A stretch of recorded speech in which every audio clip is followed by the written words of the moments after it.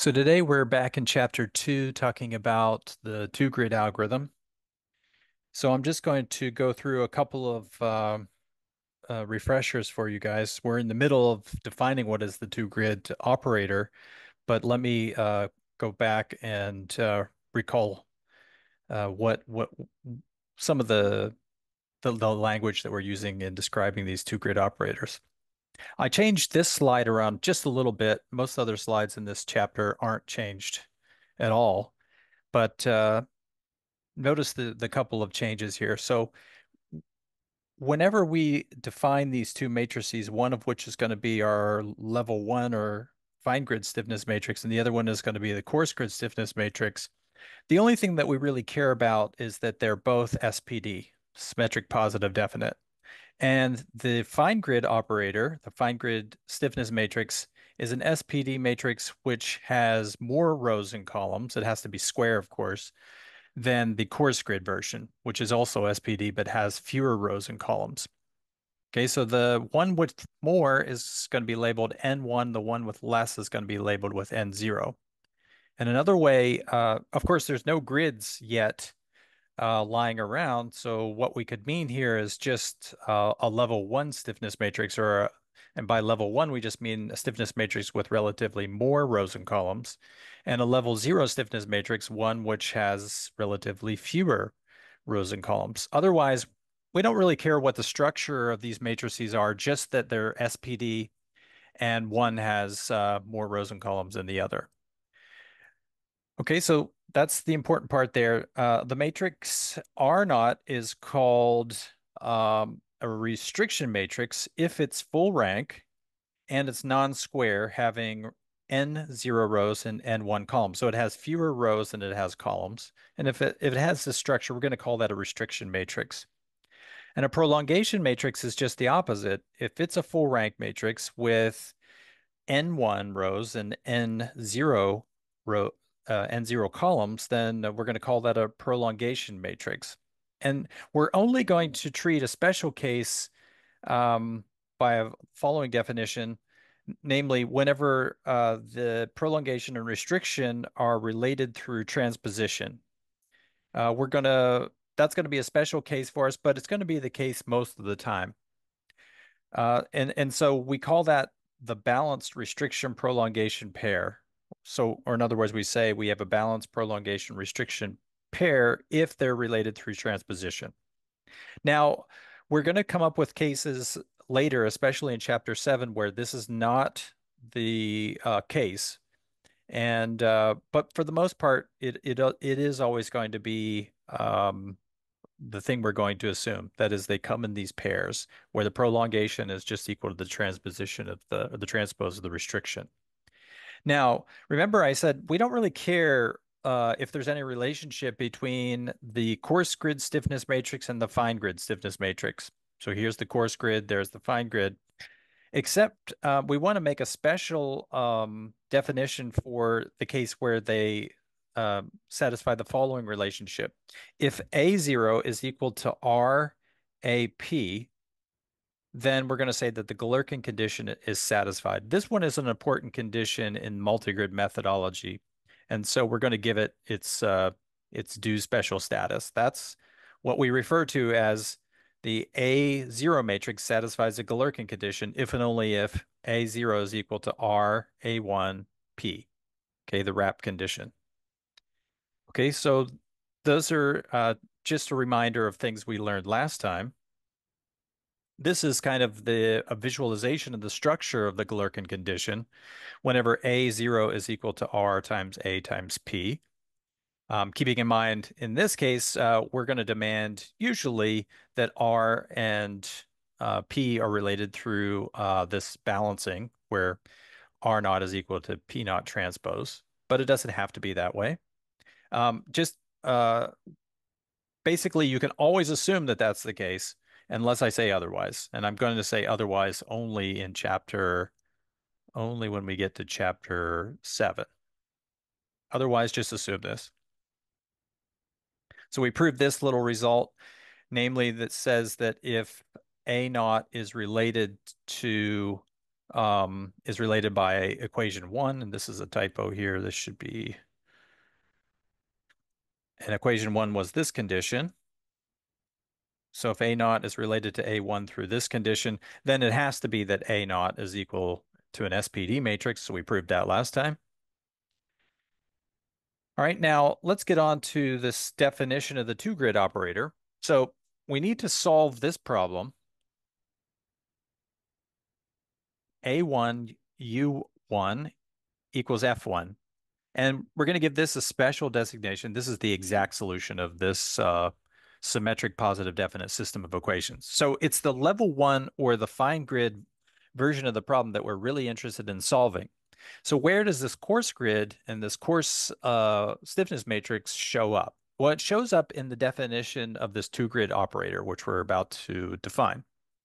And we're going to use a two grid operator to, to define an iteration sequence like this pretty pretty standard. So if I put in the last guy, the last approximation, we're going to generate a new approximation by applying this thing called the two grid operator. So I have to define that, and that's what we were in the middle of doing last time. The two grid operator has, see, did I update this? Yes, good. So the two grid operator um, has an input, which is basically the F, and a second input, which is basically or two inputs, I should say. The first one is the F or the right-hand side, and then the other one is whatever initial condition you want to put in for the iteration.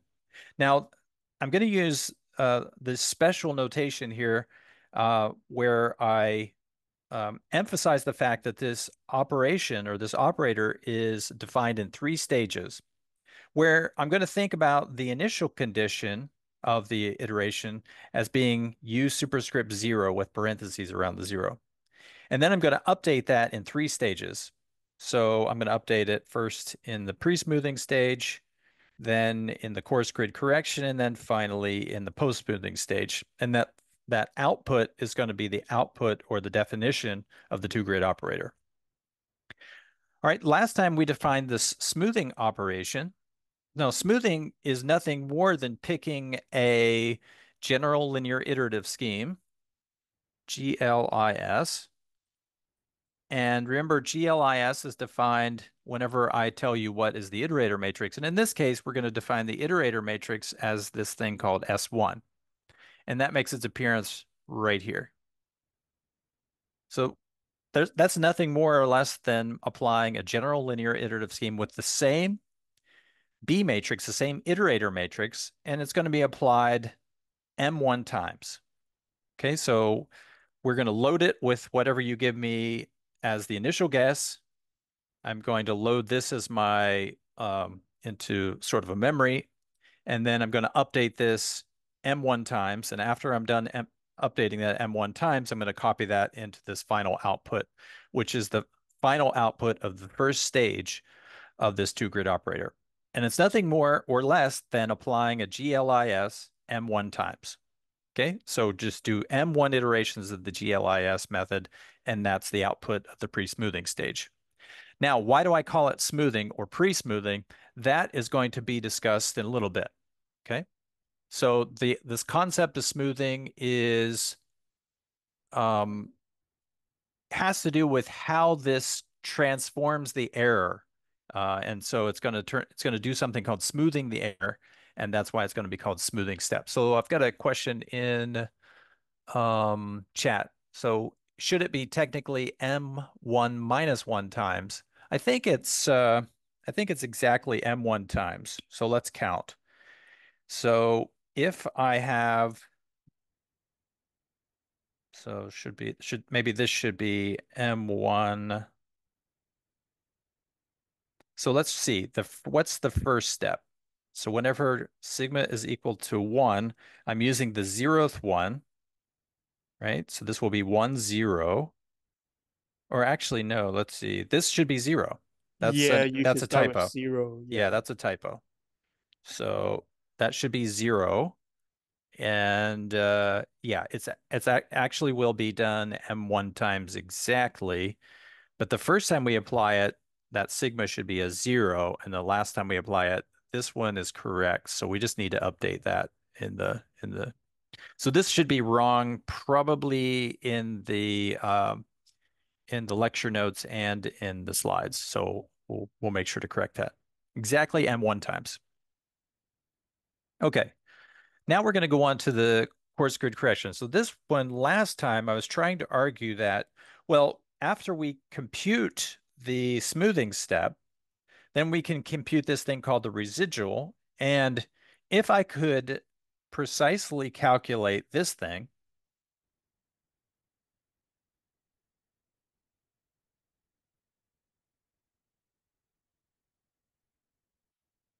okay, what would this object be here? This is the exact error that I incur from doing that smoothing operation. So I do the smoothing M1 times, and then I can compute, and, and of course that's the finish or the completion of stage one. Then I can compute this thing called the residual. Well, if I compute this thing called the residual, and then I solve this thing called the error equation, remember the residual and the error satisfy a um, error residual relationship.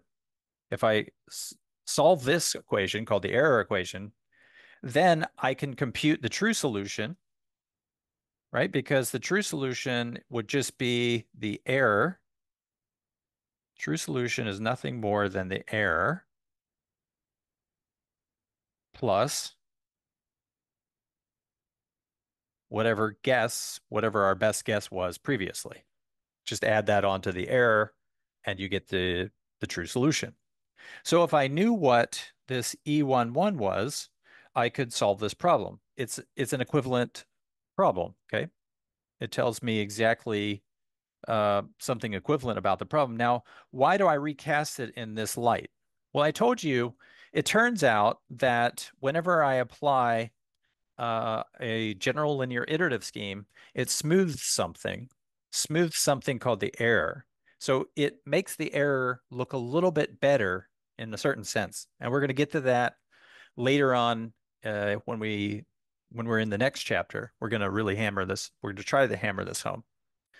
But in any case, the error might become a little bit nicer and might be easier to deal with, whatever. Uh, so we're arguing that we can solve this equivalent equation in order to get the error and then get the true solution from it. Now, but what's wrong with this picture? What's wrong with this picture is that we have to solve an equation which is just as hard as the original problem, and we don't want to do that. It's too expensive. However, what we're going to say to ourselves is, well, um, I can't solve that problem. It might be too expensive, but suppose I'm working on a coarse grid where I where the problem looks more or less the same as on the fine grid, except that you know we're we're dealing with fewer degrees of freedom. Suppose I can work on the coarse grid I can solve this problem.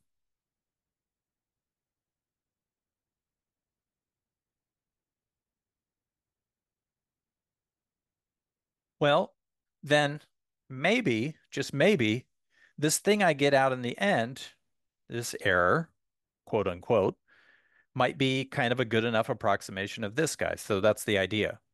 But now I have to make a relationship between this residual and whatever this thing is. Okay, this thing which looks like or might look like a residual. So that's the idea of this two grid operator. Um, this step called the coarse grid correction is where I'm going to get an approximation of the error, but not on the original fine grid. I'm going to get an approximation of the error on the coarse grid. Okay, so this problem should be cheaper to solve. I should be able to just invert this matrix and solve it. And maybe it it it the cost of this inversion is half the cost or a quarter of the cost of the uh, of this problem. So that's going to be the kind of idea that we're going to roll with. Now here's how I'm going to compute this object, which I'm going to say is an approximation of the residual, but on the coarse grid. Let's let's go with it for a second. So I'm going to compute the coarse or the fine grid residual. So that is the exact residual. And if I would were to solve this problem, I would get the exact error, but that's ex too expensive. So I'm going to take this residual and I'm going to push it down into the coarse grid using the restriction operator. Remember, restriction takes fine level information and pushes it down into the coarse grid. Now I'm going to do what I said I was going to do before. I'm going to solve this problem exactly, but I'm not going to call this the, this is too evocative. So I'm going to call this object here the Q01E. So this is going to be some version of an error, not really the correct error that I'm looking for. So push the residual down to the coarse grid using the restriction. And then I'm going to exactly solve. So what this part is here, I'm going to exactly solve this equation.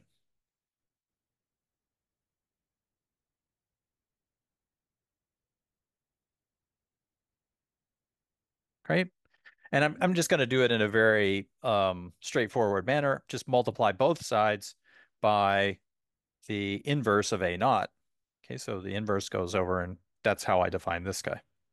Now, this is not the error that I want. Okay, so this is not the error that I want, but maybe, hopefully, it's a good approximation of the error. And I'm going to explain why this is true in chapter three. So, but for right now, you just have to roll with it that maybe this is a good approximation of the error. And that's what all of multigrid is going to be about, trying to prove that that's good enough. All right, so this is my approximation of the error, but on the coarse grid, obtained by solving the coarse grid problem exactly. All right, now I'm going to normally in multigrid, I don't get this exact computation. I get something approximating it. And so that's what is going to usually be in this vector here, Q01. Not the exact, but some approximation of it. Right now I have exactly that. So there's nothing really going on in this update here. It's just really a copy update. Now I'm going to take that vector, and that's what's called the coarse grid correction, and I'm going to push it up to the fine grid through prolongation. Remember, prolongation moves information from the coarse grid to the fine grid. So take the prolongation operator, the prolongation matrix, push this guy up. And remember now, I'm still thinking this should be a nice approximation of my error. And now it's even of the right size because it's on the fine grid. So the idea here is Q1, 1. That guy should be an approximation of the thing I really wish I had, which is the true error. And now I'm going to do what I said you could do before. If you had the real error and you added the true solution or the current um, iterate onto it, well, then that's something uh, that would be close to the true. The well, let's see. Let me back up. So if I have the true error and I add on the current iterate to it, you get exactly the the true solution. If I have something approximating the true error and I add the current iterate to it, then I get something approximating something approximating the true solution. So that's where this coarse grid correction update comes from. This U12 is precisely that. It's my current iterate for, obtained from the smoothing step, and I'm going to add to the this thing called the coarse grid correction. That something is really, hopefully, some good approximation. And we're gonna we're gonna make this rigorous by doing some Fourier analysis in the next chapter, and some other types of analysis later on that something should be a pretty good approximation to the true error, which is what we want. Now, um, to finish up the step on this two grid operator, once I have this coarse grid corrected solution, I'm going to smooth that guy by doing uh, M2 post smoothing steps. And in this case, I got it right because this one starts out with sigma uh, equal to zero and stops with sigma equals to M2. So this one is M2 um, applications of a simple uh, general linear iterative process. So GLIS. But this time, the B matrix, the iterator, is going to be taken as S1 transpose. Not S1, but S1 transpose. And this it does one uh, a nice thing that's going to be important to us later on. It symmetrizes this process. So it's uh, it symmetrizes this process by, instead of using S1, we're going to use S1 transpose. But otherwise, it's just M2 applications of some general linear iterative scheme like we've had before. Namely, it's going to be something like uh, weighted Jacobi or Jacobi or Gauss-Seidel or maybe Richardson smoother. Okay, And we call it a smoother in these applications because it's going to do something nice to the error. In particular, it's going to smooth out the error. Now, smoothing out the error has an, an important um, plays an important role because if the error becomes smooth after pre or post smoothing, then when I try to push that error down to or realize that error on a coarse grid, it's well approximated on the coarse grid because coarse grids can approximate well things that are smooth. And we're going to talk about why this is so when we get along, get on to uh, chapter uh, three and four and so on. Now, this element here has a special name, this Q01. It's called the two grid coarse grid correction. And this element here, Q1E, sorry, Q01E is called the exact coarse grid correction. Now in multi-grid, we're not going to have an exact coarse grid correction, only, a, only this approximation of it. They won't be the same. The matrix S1 is called the smoothing operator or the smoothing matrix. And notice that that's used twice. Only the second application in the post smoothing, it's used with the transpose. And that does something called symmetrizing this process.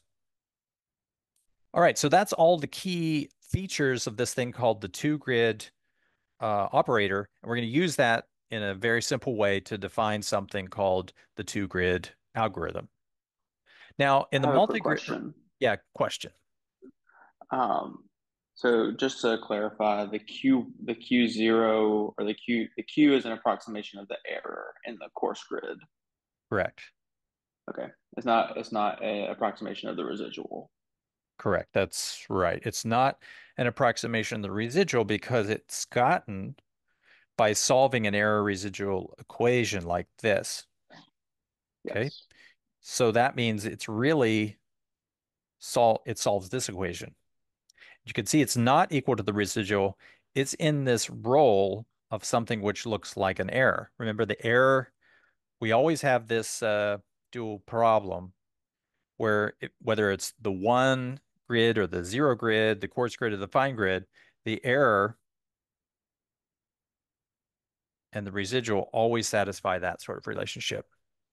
Okay, and we can put whatever we want here, L, L, L, and we can put whatever we want here, M, M, okay?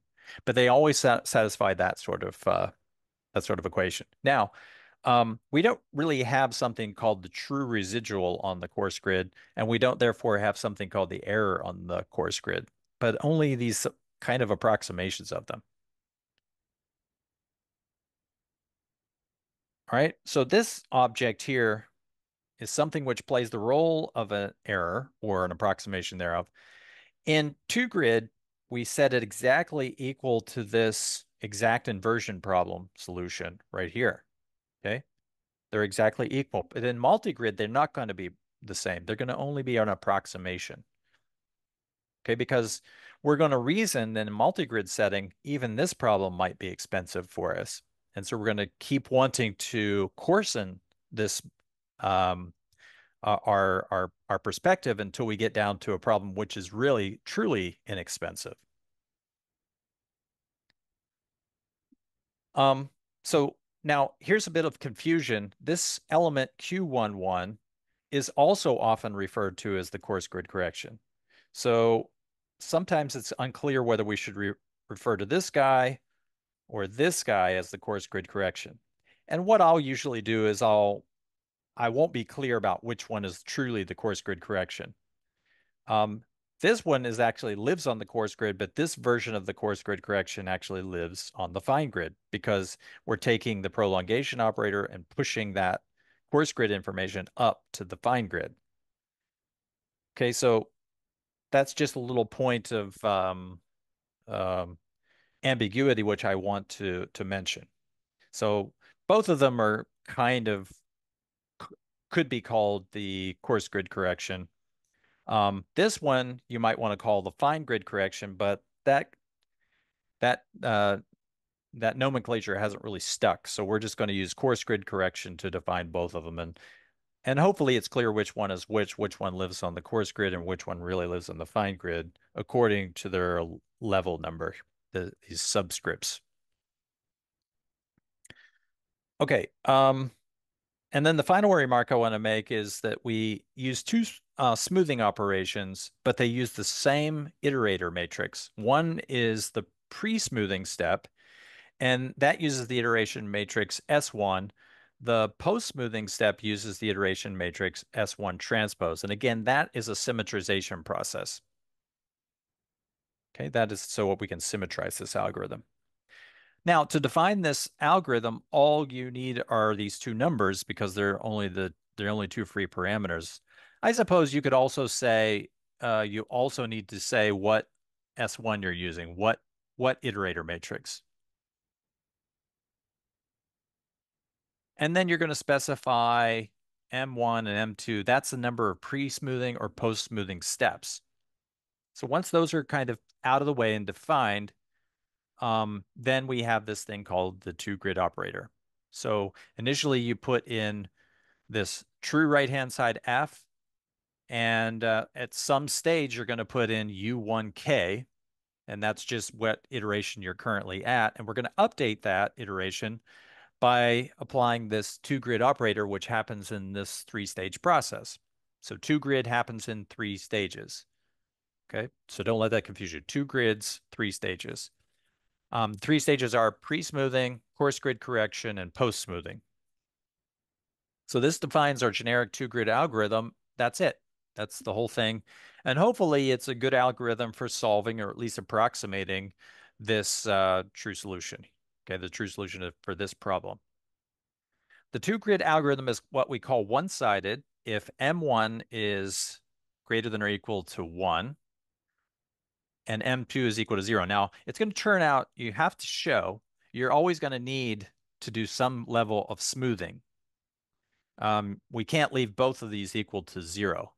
Otherwise, we get a uh, an, an, an algorithm which doesn't converge.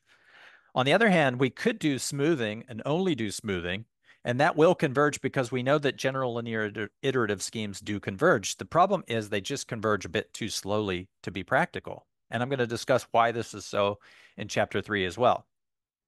We do need some smoothing, but it's going to turn out we don't actually need a lot of smoothing because the coarse grid correction step, if we do things right, is going to take a huge chunk out of the error and it's going to make the convergence of an otherwise slow algorithm, namely these general linear iterative schemes, converge very rapidly. And therefore, we say that these two grid algorithms and the multi grid algorithm that's going to replace it are what we call accelerators for uh, general linear iterative schemes. So the TG is an accelerator. Is that two L's or one L? I don't remember. Is an accelerator for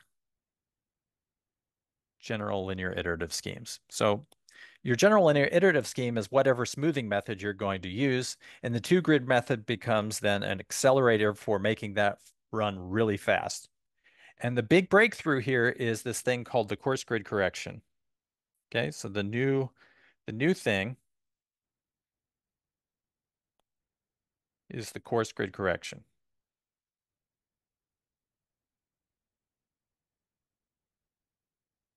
So that's the new technology that's being introduced here with um, with the two grid algorithm.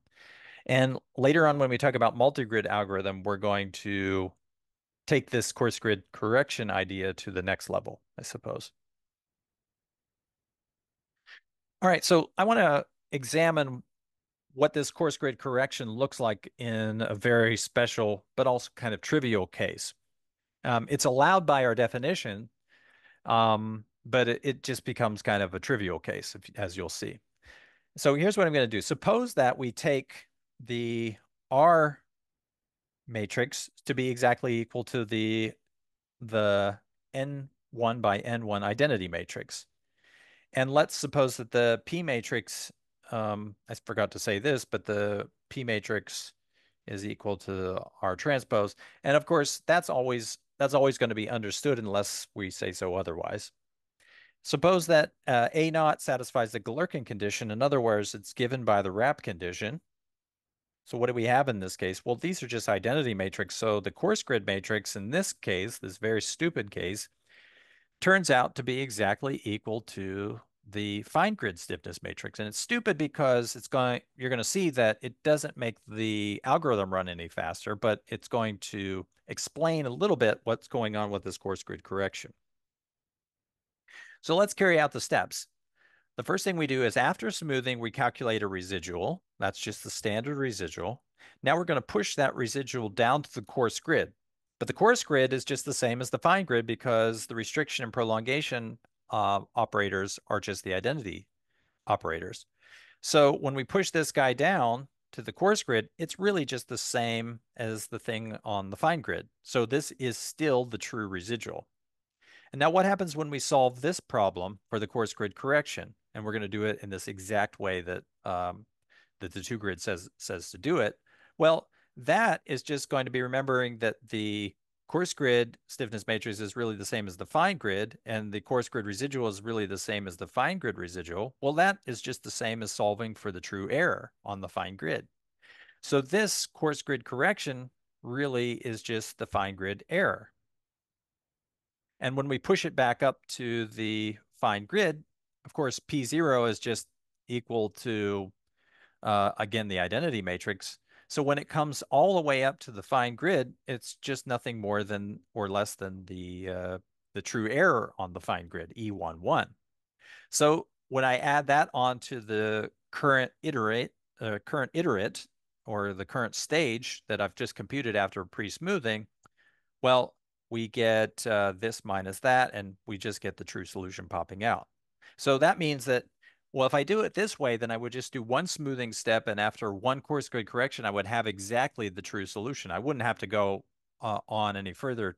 I wouldn't have to do the post-smoothing operation because I would have a fixed point to that operation anyway. Nothing would happen. So this is kind of um, a silly um, uh, observation of what happens whenever the prolongation and the restrictions are just the identity. Um, but in that case, nothing happens but it's supposed to be evocative. So it's supposed to say, uh, well, okay, suppose that my coarse grid problem and fine grid problem are really different, but they're highly connected and highly related. Well, in that case, uh, my prolongation and restriction operators aren't going to be the identity, but they're going to be something which acts like an identity pretty much. And in that case, I'm hoping that when I do this computation, it really does give me something which is, though not equal, will give me something which is a very good approximation of the true error. Again, so that's supposed to explain or be evocative of why we do what we do uh, in computing this thing called the coarse grid correction. It's supposed to be a very good approximation of the true error. Now, in the two grid algorithm, of course, they're not the same. Um, and they don't even live on the same grids, right? Because this lives on the coarse grid, this lives on the fine grid. You can't even compare the two things. But the idea is hopefully the prolongation of that coarse grid correction up onto the fine grid gives us something which is a good approximation of the error. And so that's what we're hoping. Now it's going to turn out there's going to be some requirements there, namely that this error that we start with, or the the residual that we start with, the error uh, that we started with, should be what we call smooth. And that's what the smoothers are for. So we're going to explain what we mean later. What, you know, what is that property and how, how can we check it, make sure that it, that, that it holds. Okay, so we've defined the, um, the coarse and the fine grid stiffness matrices. We defined this thing called the prolongation matrix and the restriction matrix, and we've defined what we mean by having these prolongation restrictions in balance. That's going to be the usual assumption. So I'm going to stop saying that they're balanced. And uh, we described something called the Galerkin condition, and we uh, we made that definition. So the Galerkin condition means that the coarse grid stiffness matrix is related to the fine grid through the RAP condition. And then finally, we described what we mean by the two-grid operator. So next thing I want to do is define for our theory what we call the coarse grid Ritz projection, the coarse grid Ritz projection operator. So this operator comes about uh, in in our analysis, or especially our error analysis, and so we need to give it a name. And uh, so here's the name. So the first thing I'm going to do is is define this thing, this matrix here, pi zero matrix.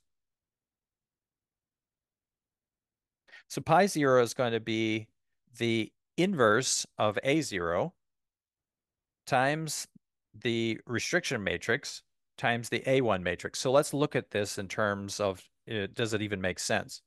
The first thing I have to check is, is it compatible for multiplication? So it's compatible for multiplication if the number of columns the number of rows here match up, they do. And the same number of columns and number of rows here have to match up, they do. So this product turns out to be, this is a square matrix, non-square, square. The product comes out to be n0 by n1. So it has um, only a few uh, rows and it has a lot of columns, right? So this matrix looks like that. Okay, a rectangle laying on its side. Okay, short and fat. And the thing that I want to define called the coarse grid Ritz projection matrix, we're just going to apply one more uh, restriction, or actually it's a restriction champ transpose. So this guy is actually the prolongation operator applied to this operator pi zero. And that gives us what's called the pi one tilde operator. That's what's called the coarse grid Ritz projection matrix. Now that matrix turns out to be square because um, this matrix here is going to be n1 by n0. And so when I apply it to this one, it's going to be n1 by n1, so square. And then we can ask, well, is this matrix invertible? You know, what good is this matrix? Where does it come into play? And is it useful?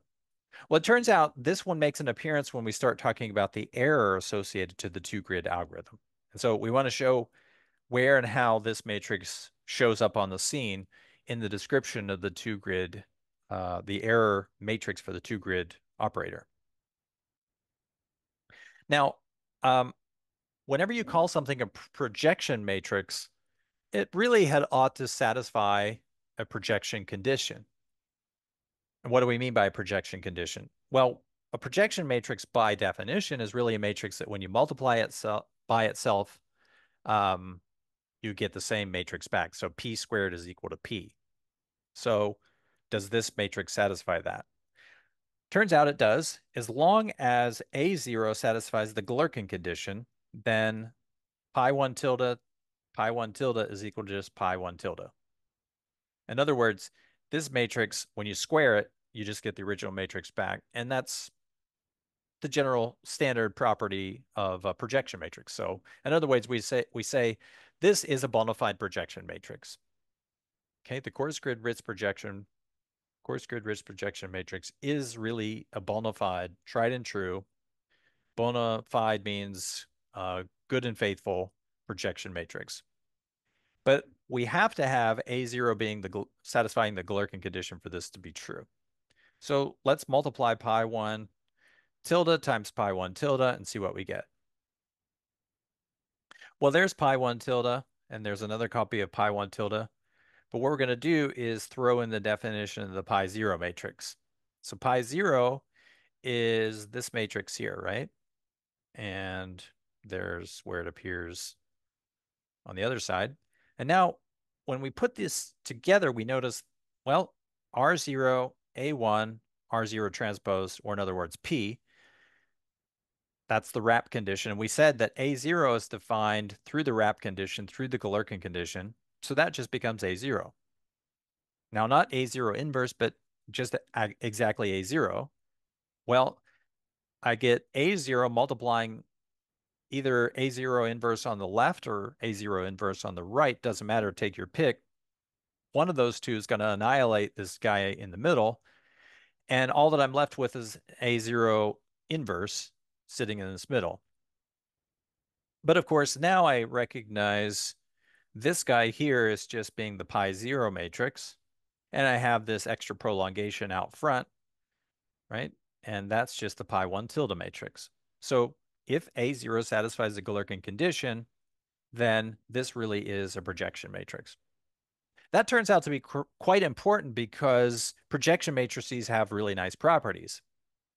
And of course, we called it a projection matrix. So, you know, uh, hopefully it does satisfy those properties. But it only does so if A0 satisfies the Galerkin condition. So it turns out this must be an important property for us to try to maintain as well.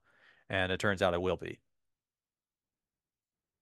Now, if pi 1 tilde is a projection matrix, then I minus pi 1 tilde is also a projection matrix. In fact, this is a generally true result. If I have uh, P being a projection matrix, and I'm using P here, P should not be confused with the prolongation matrix, just any projection matrix.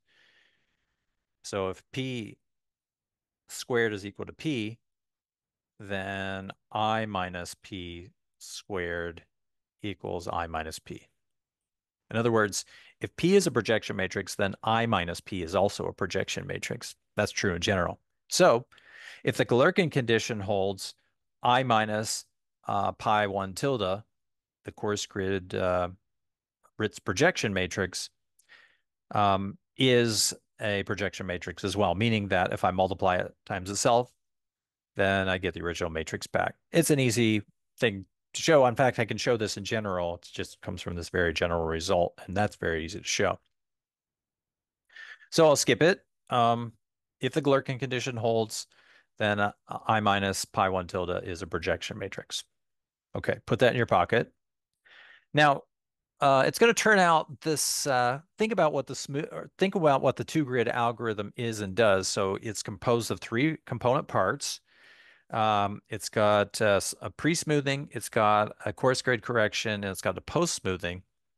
And so whenever we calculate the error matrix for this two grid process, in fact, we're going to show that it's a product of three errors. Okay. The error matrix for the two grid algorithm or the two grid method, we're going to show that that is a matrix. And it's just going to be the product of three error um, matrices. Okay. The first one is the pre-smoothing error matrix. The second one is going to be the coarse grid correction error matrix. And then the last one is going to be the post-smoothing error transfer matrix. Now, what does the error transfer matrix look like for the general linear iterative scheme to begin with?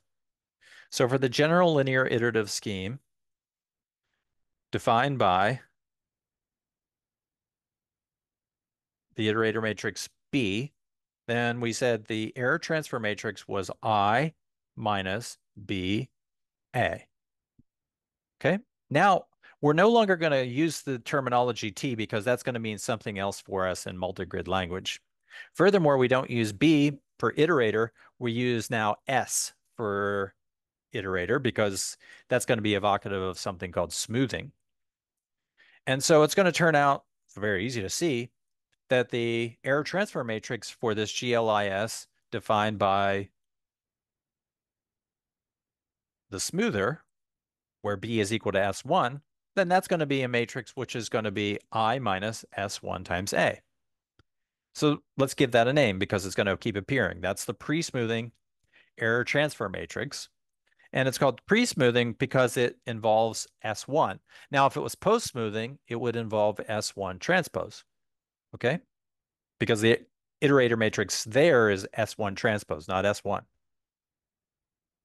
And again, I said we don't use T anymore because that is a, a sort of a reserved uh, symbol in multigrid language. We're going to use the, the matrix K for our error transfer matrix. Okay, so the pre-smoothing error transfer matrix is defined like this. And of course, you can imagine the, the post-smoothing one is is defined similarly, but where this is, uh, this iterator is S1 transpose and not S1. All right, now I'm going to define a few inner products that we're going to see um, appearing all the time. And uh, and uh, so I have to make a couple of things distinct. First of all, I've got multiple grids laying around. And by multiple grids, I simply mean, am I in this space Rn1 or I'm in this space Rn0. And of course, you can say to yourself, those have nothing to do whatsoever with grids. And I agree with you. They don't. They're just uh, they're just uh, real vector spaces. They're in fact they're the n tuples. There's no grids here, but I'm going to cheat and I'm going to call this one the fine grid, and this one I'm going to call the coarse grid. All right. So now I can define inner products on either the the fine grid or the coarse grid or even both. So the first thing I want to do is define what I mean by the level one inner product. And just to make sure that everyone understands what grid we're working on, we're going to put a subscript one whenever we're dealing with the fine grid version of it. So suppose I have any U1 and V1 um, in um, in Rn1, then I'm going to define the the fine grid um, inner product as this is actually, I don't like this notation actually, even though it's completely true. How should this be defined? You can say so if you if you if you don't mind your audio being shared, but um, otherwise I'll just say it. How should that be defined? I really prefer to define it like this. You take the second one, you transpose it, and you multiply it by the first. And of course, th these are the same objects because we're in real land, not in complex land, but um, it's uh, I think it's it's it's better if we do it this way. Now, um, so that's clear that that's operating on level one because the vectors that we're combining are from the fine grid or the level one grid. Now let's define something called the level one adjoint of any matrix. So if a matrix is square n1 by n1, then we can define the level one adjoint as being that matrix that satisfies, um, if I start with it here, it ends up on the other side, but with a transpose. And of course, this level one adjoint is nothing more than just the transpose. It's a standard transpose. And that's because we're using the Euclidean inner product. Okay. We're using the Euclidean inner product. So the transpose is the adjoint. We say that M is level one self-adjoint, or in other words, level one symmetric, if and only if it's equal to its own transpose. And of course, you know, there's nothing really new. There's no content here. I'm really just defining a couple of, um, I'm, I'm really just want us to be clear when we're working with this level one inner product. Okay, then we need to have a square matrix which has n1 rows and one columns and, and etc. And I'm hammering home this concept that uh, self-adjoint really means the same as symmetric, but only if we're in um, Euclidean context. Now, um, let's define something that um, also kind of makes sense, uh, namely this uh, A1 inner product. This also is going to act on uh, grid uh, on the on the fine grid or level one grid, and this one is defined as as usual. Um, the A1 inner product of U1 and V1 is just you just put an A1 on this first guy here and multiply it by this V1 and we use the uh, level one standard Euclidean inner product to do this. And of course, this comes out to be nothing more or less than V1 transpose A1 U1, right? According to our definition. Now, here's where things get a little bit more interesting. So the A1 adjoint of a matrix M is the unique matrix M star so don't confuse this with uh, conjugate transpose. This is, um, oh, we mean the, the adjoint in the A1 inner product. So we could, you know, we could have defined this in a couple of ways, but we're, we're going to reserve star to be an adjoint with respect to some stiffness matrix, generally speaking. And that's going to be the unique matrix that satisfies that if I move this matrix over to this side in this inner product, it's going to change by the addition of the star. So it won't be the same as the thing we started out with, unless it turns out to be self-adjoint. And in that case, we say that happens whenever M is equal to M star. We say that that M matrix is A1 self-adjoint or A1 symmetric. And finally, we say that M is A1 symmetric positive definite if and only if it's A1 symmetric and it has to satisfy this positivity property for all u1 which are not equal to the zero vector. So all fairly standard stuff. It's just now we're we're getting into level one differences of inner products. So we could have, of course, level zero versions of these same things, but they tend not to be as um, ubiquitous until we get over into the multi-grid section where we're going to see we're going to see inner products on all possible levels um, that's what multi-grid is. It's a it's something comprised of many levels.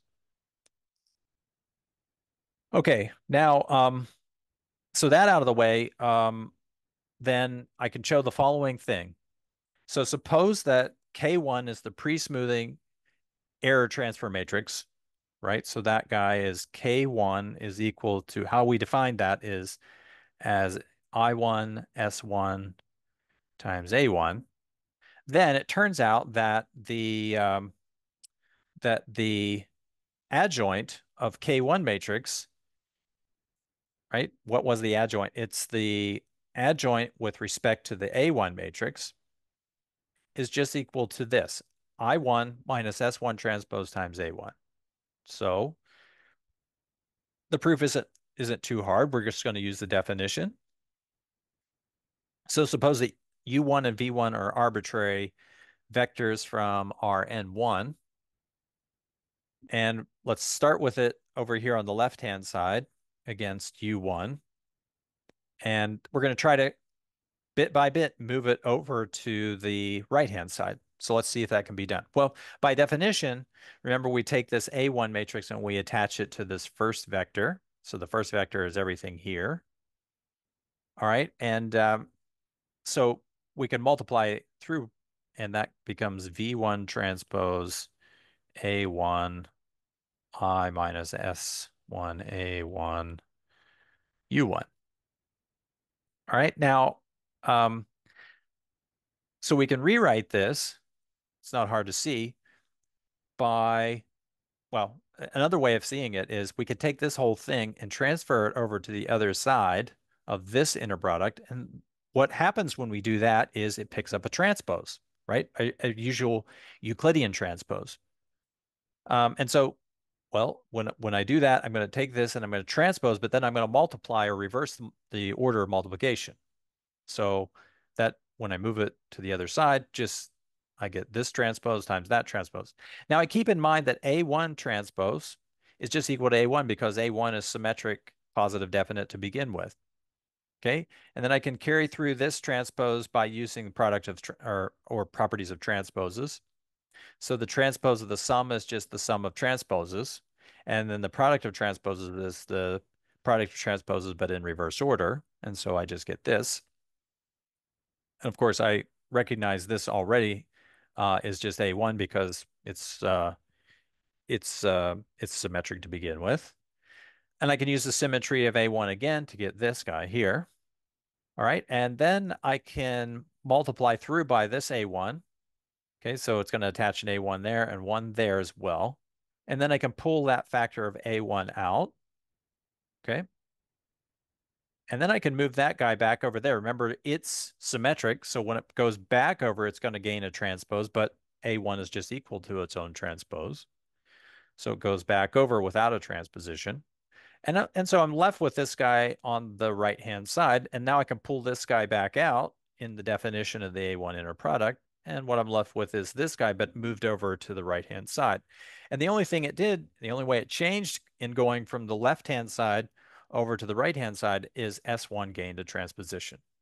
And so this says that the adjoint of this operator, this matrix in the A1 inner product is just equal to this matrix, right? This was K1, and so this was K1. This whole thing is K1. And so this thing here must be K1 star because that's how we define the adjoint. And that proves the result. Okay, so let's get into the last section of chapter two. So we're going to try to compute the uh, error transfer matrix of this two grid operator. And as I said before, this is going to involve the product of error transfer matrices or error transfer like matrices uh, owing to pre-smoothing, post-smoothing, and then right in the middle is going to be the coarse grid correction. So try to try to to to show you how that's how that works. So I claim we have all the tools we need to try to identify this. And so this whole chapter is a short chapter. The previous chapter I think was six or seven sections long. This one's only three. And I wanted to make it short and sweet because I just wanted to find some notation in here. And sometimes having a nice little short chapter is good just to get notation um, identified and out of the way. So here it is. Here's the here's the theorem for the two grid algorithm defined earlier. Then we can show that the error is transferred like this. And so therefore we have an error transfer matrix. Um, the error is transferred from, from uh, iteration level k to iteration level k plus 1 simply by the multiplication of, of this matrix here. And therefore, we're going to call that the error transfer matrix for the two-grid algorithm. And it is the product of uh, K1 star. Remember, the K1 star is the A1 adjoint of K1 raised to the M2 power. Now, why do you suppose it's M2 power? Well, it's M2 power because we're doing M2 steps of post-smoothing. If we do zero steps of post-smoothing, and we will actually do that later on, that's going to be completely gone because it's going to be M2 is going to be uh, zero. And so raise anything to zero power, you just get the identity. Times I1 minus pi 1 tilde. So this turns out to be what we call the error in the coarse grid correction stage. And then finally times K1 raised to the M1 power. So this is our pre-smoothing error stage. So the idea is at each stage we want it to, to, to decrease the error, to, to push the error down. So smoothing is going to push the error, error down in a certain way. And the coarse grid correction is then going to take over and push the error down in a certain way. And then finally, post smoothing is going to decrease the error in a certain way. So the combination of these error reduction techniques hopefully is going to lead to convergence. So we want to prove this. Now, this really is the error. Okay, that's the error at the kth plus first stage, and this is the error at the kth stage. And uh, that is to say the difference between the exact solution and the current iterate. Um, and this exact solution, of course, is, is solving uh, this problem. Now, here's a harder problem to show. Um, so it's easy enough, it turns out, to compute this two-grid tra error transfer matrix. But what's harder to show is that actually this two-grid algorithm is really just a general linear iterative scheme. And therefore, what that means is we can find an iterator matrix, what we'll call the overall iterator matrix, not just the one that's involved in pre-smoothing or post-smoothing, but the grand iterator matrix B1, such that our error transfer matrix can be written as I minus B1A1. In other words, as it would normally be done if this was a general linear iterative scheme. So there are a couple of ways of proving this part here. I'm going to leave that as an exercise. It's a rather uh, challenging problem, and I want to see who can do that. Okay, I want to see who stands out in the crowd and who can figure out what this B1 is. I have an idea who uh, those people will be, but I want to see who can figure out what, what is it my B, standard B1. All right, now this one is an easier problem. And again, we're not using a T matrix for the error transfer matrix. We're using this, this thing called E. So let's see if we can do this. Let's see if we can prove this. So um, I can do this if I can do this in three stages, right?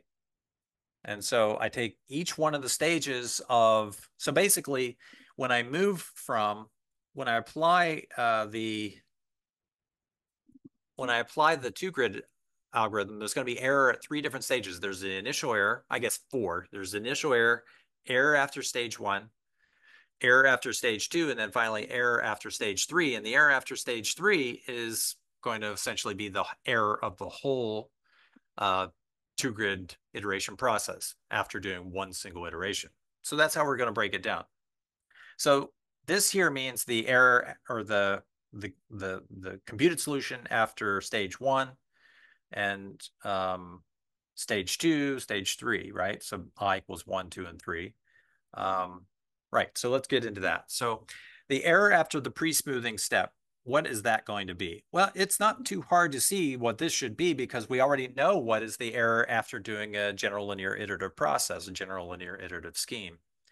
The error after doing M1 stages or M1 steps of the general linear iterative scheme should be the error transfer matrix for that general linear iterative process. raised to the M1 power. So you start off with this guy here, E1K, you apply M1 steps of the pre-smoother, and that's going to generate or convert your error to be equal to this guy, right? K1 M1 times E1K. Does everyone see how that's done?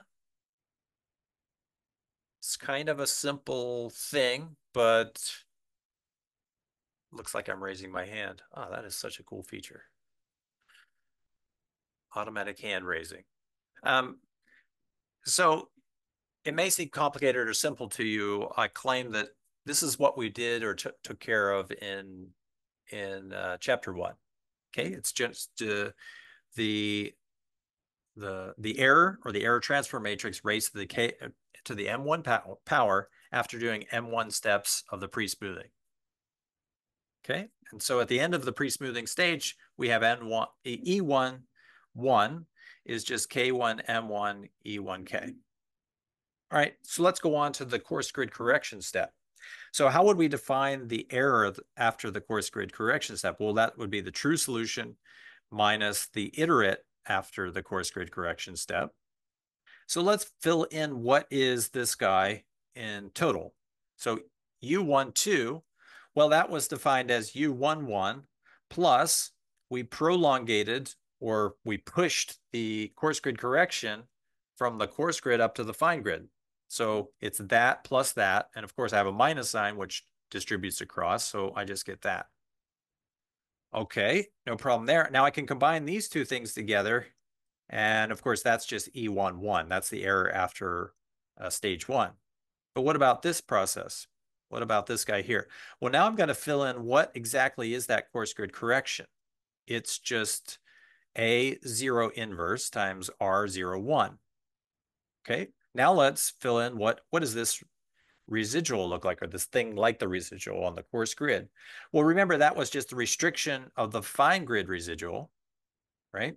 So push that or, or, or pop, pop that in there. And so now we have R0 transpose times A0 inverse, R0, R11.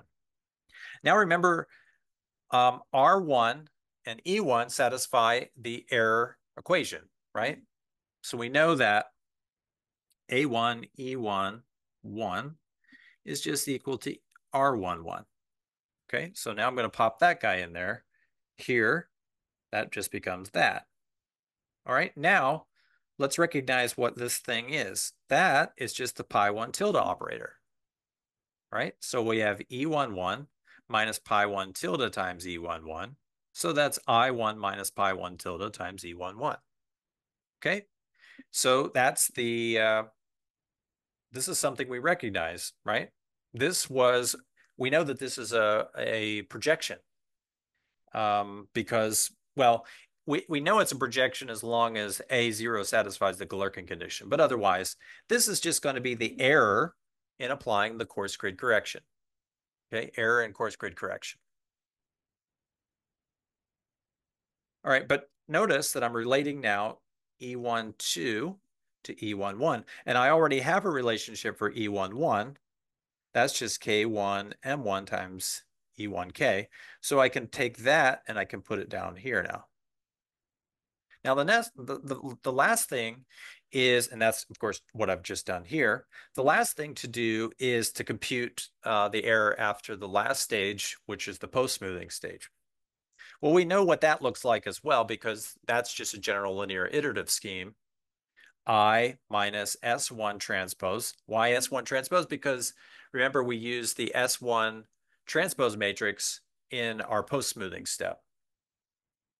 All right, but this whole matrix here is what we called K1 star, right? It's the adjoint of the K1 operator in the A1 uh, inner product okay?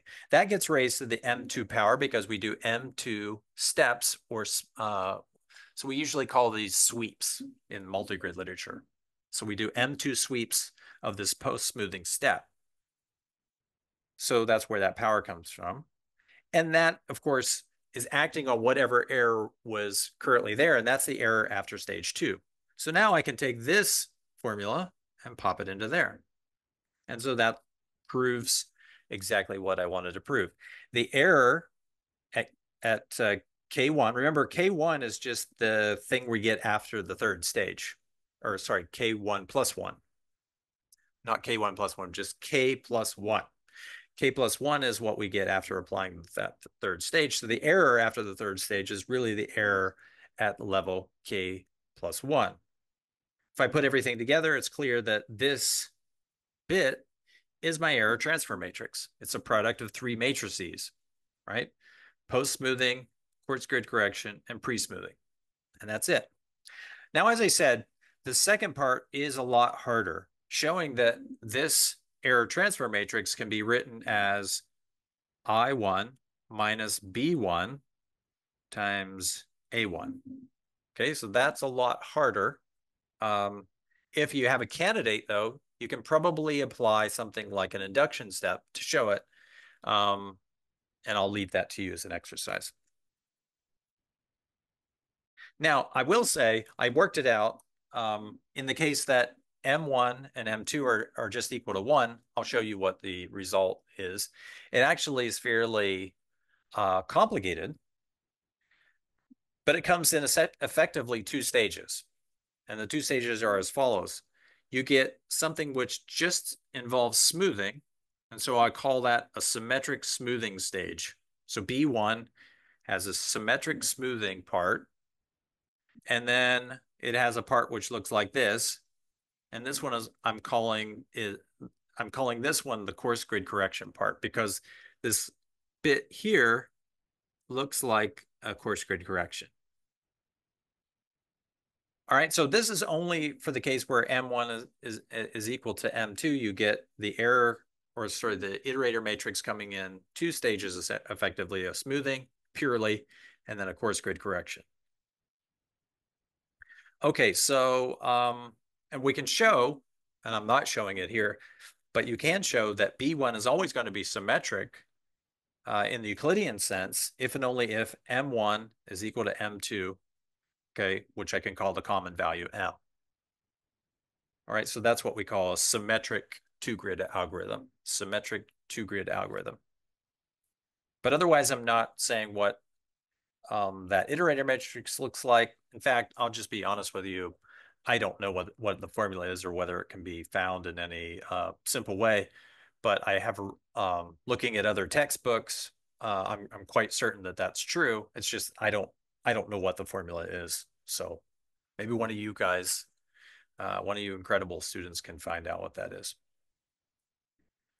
The final thing I want to talk about uh, before uh, we end for today is I want to show that that error transfer matrix for the two-grid algorithm is symmetric with respect to the A1 inner product if and only if M1 and M2 are equal. So that's what we call the symmetric two-grid case.